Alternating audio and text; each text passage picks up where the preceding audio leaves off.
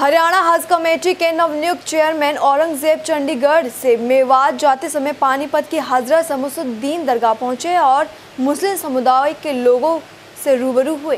वहीं पत्रकारों से बातचीत के दौरान चेयरमैन ने कहा कि वे अपनी ज़िम्मेदारी पूरी ईमानदारी के साथ निभाएँगे। साथ ही उन्होंने कहा कि हज में किसी प्रकार की समस्या नहीं आने देंगे। मुसलमान भाइयों को कोई भी दिक्कत नहीं आने देंगे और हरियाणा का एक अलग रुतबा कायम करेंगे। वहीं वक्फ बोर्ड को ज़मीन के मामले पर बोलते उन्होंने कहा कि वक्फ बोर्ड की ज़मीन के मसले को जल्द से जल्द निपटाया जाएगा। असल में जी, मैं यहाँ अभी नए नए हज कमेटी के चेयरमैन बना हूँ और अपने मेरा साबरी साहब जो है हमसे जुड़े हुए थे तो मैं यहाँ से अपने मेवात निकल रहा था चंडीगढ़ से। तो साबरी साहब ने मेरे से दरख्वास्त की कि भाई आप, मैं आपका थोड़ा यहाँ खैर मकदम कर देता हूँ आप हमारे लोगों के बीच में।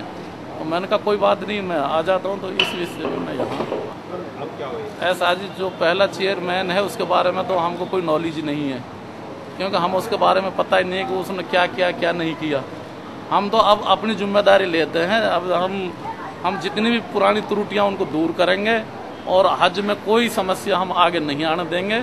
और मुसलमानों की सारी हज की जितनी सुविधाएँ उनको अच्छा अच्छा करके दिखाएँगे।